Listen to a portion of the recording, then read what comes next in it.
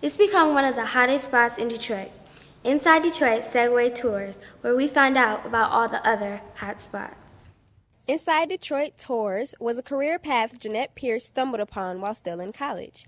Tired of people criticizing her hometown, she decided to start her own business with a friend, offering tours in Detroit.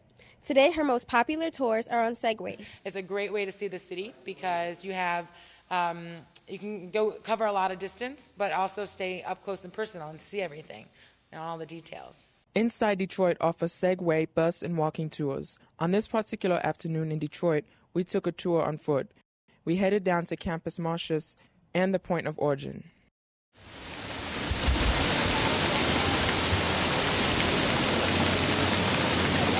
Well, where we're standing right here, there's a point of origin for the entire city of Detroit. Have you ever wondered where 8 Mile Road is 8 miles from? The answer is this glass circle. Yeah, and it's actually a very historical point as well because this is when we were talking about the fire of 1805.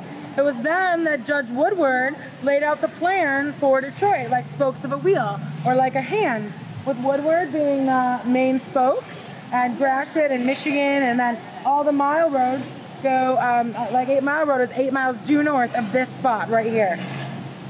Isn't that cool? Yeah, I didn't know. Jeanette has given tours to people from across the state, country, and globe and has had many memorable moments. The one that really kind of hit home for me was when we did um, a tour for a group of students from the University of Michigan. And after we were finished with the tour, one of the young ladies came up to me and she said, You know, it never even occurred to me to stay in Michigan after I graduated. But now I think I want to live in Detroit.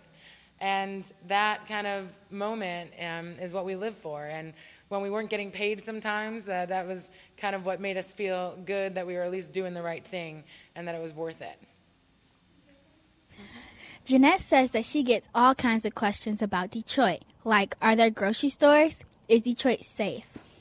As someone who lived in Detroit her entire life and in the downtown area for seven years, she knows that there are many myths about Detroit that she works to dispel every day. Her tours are not only entertaining and informative, but they are great ways to get a history lesson about our great city.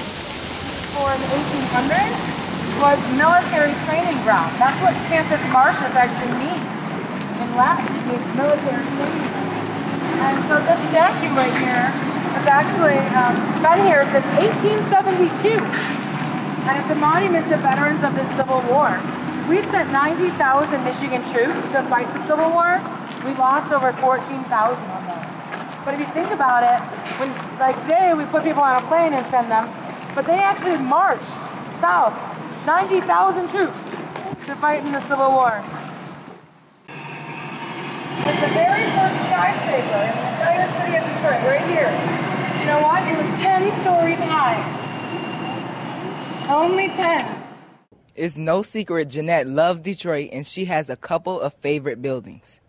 One crown jewel in the Detroit skyline is the Guardian Building and a hot attraction on Jeanette's tour.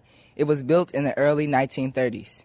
So the Guardian Building is one of the most beautiful buildings in the entire city, and some say in the entire country. It was built in 1929 to be a bank's headquarters, and that's it. But they said spare no expense, make it a cathedral to finance. So it does look more like a church, really, than a bank, especially on the inside, which we're going to go in in a few minutes. And each one of these bricks, these orange bricks, was made specifically for this building. Almost 2 million bricks, colored and dyed that color, that orangish color. And then people liked them so much that everyone said, We want bricks like that, we want bricks like that. And they started mass producing them, and they called them Guardian Bricks.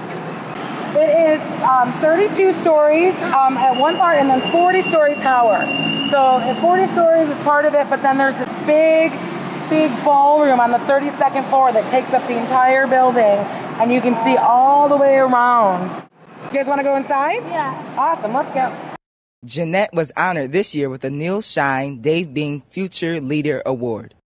Even if you lived in Detroit your whole life, there's still more information you can get. There's maps, there's food and fun, there's lots of stuff to check out here at the Detroit Welcome Center. And if you've never been to Detroit before, then you surely need to come down here and get some information so you can learn about Detroit. I'm Gianni Crawford. I'm Dylan Clark. I'm Michaela Armstead. I'm T. Sarah Parham. For Youth Neighborhood News, where we bring you the younger side of the news.